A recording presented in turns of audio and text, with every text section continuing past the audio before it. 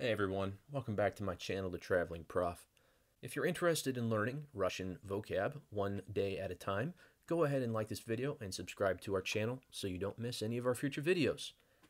Also, for those of you who are interested in studying Russian using your mobile device, you can download the Chegg Prep app from either the iPhone or the Android app stores and search for Travlin' Prof Kitchen.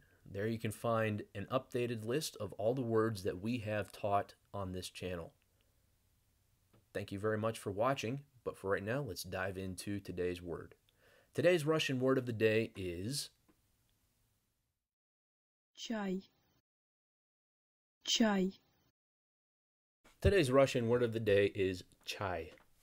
And no, I'm not using any help for that word because, as a matter of fact, this is a word that you learn very quickly and you learn very well whenever you go to a Russian or Eastern European culture because they drink it a lot, every day, many times a day, and sometimes several cups each time they drink it.